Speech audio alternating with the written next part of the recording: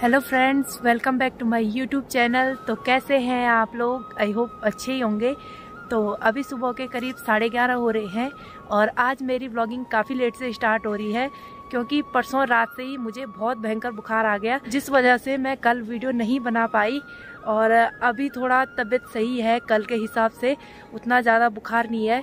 Mummy की भी तबीयत खराब ही है, पापा और भाई तो अपने काम पे जा रखे हैं और मम्मी कल से लगी हुई है सारे काम अकेले करने पे तो मुझे थोड़ा बेकार लग रहा था। अभी मेरी तबीयत थोड़ा सही थी तो मैंने सोचा मम्मी के साथ चली जाती हूँ थोड़ा काम करने, गौशाला पानी की बाल्टी रखने के लिए।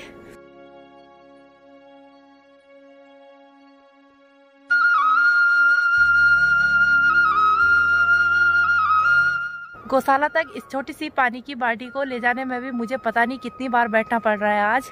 और कल से दवाई खा खा के मेरे मुँह का पूरा स्वाद ही बिगड़ गया। आज पहाड़ों का मौसम काफ़ी ख़राब हो गया है, बारिश ही लग रही है, कल रात से लग रही थी बारिश और ठंडा भी बहुत ज़्यादा हो गया। जुकाम लगने की वजह से मेरे कान भी बंद हो गए हैं और मुझे लग रहा है कि मैं पता नहीं कितने धीरे से बोल रही हूँ। अभी इस पानी की बाल्टी को गौशाला तक बड़ी मुश्किल से लेके आ गई हूँ। और मम्मी ने यहाँ पे इतना घास निकाल के रख दिया और कुछ घास यहाँ पे काट के रखा हुआ है। तो अब इस घास को इकट्ठा कर लेती हूँ एक बार। वैसे उतनी ताकत तो नहीं आ रही है लेकिन करना तो पड़ेगा ही। मम्मी भी कब तक करेगी अकेले?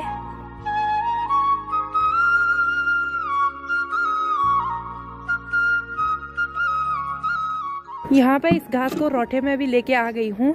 और यहाँ पे देखिए ये जो हमारे केले का पेड़ है ना ये पूरा झुक गया है। अगर थोड़ा हवा चलेगी तो शायद टूट भी सकता है। अभी देखिए, सामने वाली पहाड़ी पे पूरी बर्फबारी हो रही है और इस साइड तो पूरी बर्फ़ पड़ चुकी है। अगर दो तीन दिन तक ऐसे ही मौसम रहा तो काफ़ी नीचे तक बर्फ़ आ सकती है।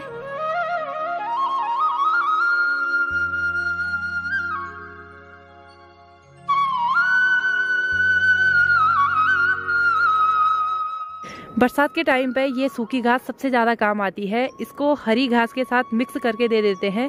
तो गौशाला का काम भी निपट चुका है और सामने वाली पहाड़ी से बारिश भी आ रही है।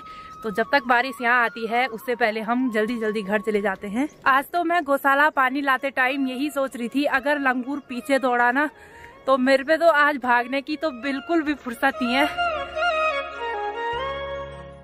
तो जब तक मम्मी धारे में पानी के डिब्बे भरती है, तब तक मैं यहाँ नीचे से थोड़ा हरी सब्ज़ी निकाल देती हूँ।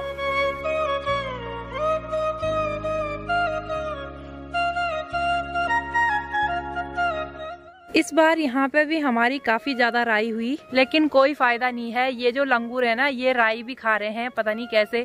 पहले तो कभी राई नहीं खाते थे, और अब तो उनको कुछ खाने के लिए नहीं मिल रहा होगा तो वो पेड़ के पत्ते तक भी खा रहे हैं। और ये जो राई है ना, उसको तो पूरा बर्बादी कर रहे हैं। तो यहाँ पे इतनी राई भी निकाल दी है। अब इसको धारे में धोते हैं अच्छी तरह से। अब घर में आ गए हैं तो अब करते हैं लंच बनाने की तैयारी।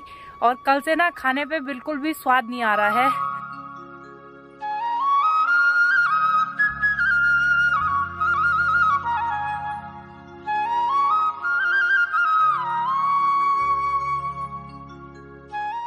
अब बारिश है तो पक्षियों के लिए थोड़ा बहुत चावल भी डाल देते हैं घर के आँगन में। वो भी कहाँ जाएँगी इस बारिश के मौसम में?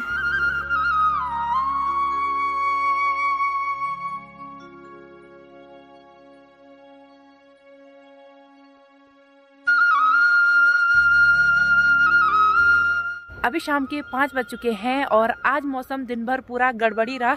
अभी भी हल्की हल्की बूंदाबांदी हो जा रही है। और इस टाइम हमारा जो काम है, वो है पानी सारने का। तो एक बार हम फटाफट से धारा जाके पानी लेके आते हैं। अभी तो मेरी तबीयत थोड़ा बहुत सही हो गई है और चाहे ना, बुखार आए, चाहे मौसम खराब हो, चाहे कुछ भी हो जाए, ये काम तो कभी छूटने वाला नहीं है। ये काम तो करना ही पड़ेगा।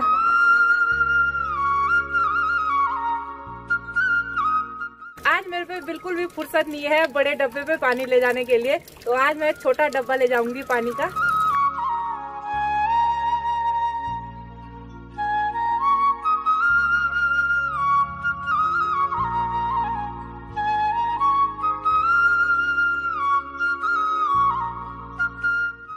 अभी धारा से पानी लाने का काम भी निपट चुका है और अब मैं चूल्हे में आग जला देती हूँ, क्योंकि शाम को हम ज़्यादातर रोटी चूल्हे में ही बनाते हैं। और ये जो लकड़ियाँ हैं ना, कल रात को बारिश होने की वजह से पूरी गीली हो गई। पहाड़ों में सर्दियों के टाइम पे बारिश के मौसम में ऐसी मोटी मोटी लकड़ियाँ चूल्हे में लगा देते हैं। इससे ना आग बार बार जलाने की ज़रूरत नहीं पड़ती है, क्योंकि जो मोटी लकड़ी होती है, उस पर आग देर तक रहती है। तो मैं भी एक मोटी लकड़ी ले जाऊँगी चूल्हे में जलाने के लिए। अभी मैंने यहाँ पे आग बड़ी मुश्किल से जलाई और वो भी ढंग से नहीं जली, क्योंकि लकड़ियाँ इतनी गीली हो रखी हैं कि वो आग को पकड़ ही नहीं पा रही थी। और अभी यहाँ पे मम्मी ने गर्मा गर्म चाय भी दे दी है तो इन खूबसूरत पहाड़ों के बीच में चाय का आनंद लेते हैं एक बार।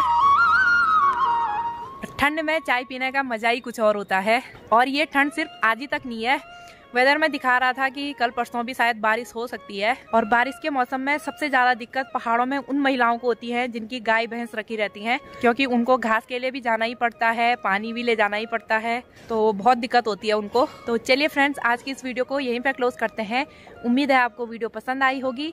अगर वीडियो पसंद आई तो इसको लाइक कीजिए कमेंट कीजिए और अपने दोस्तों के साथ शेयर कीजिए।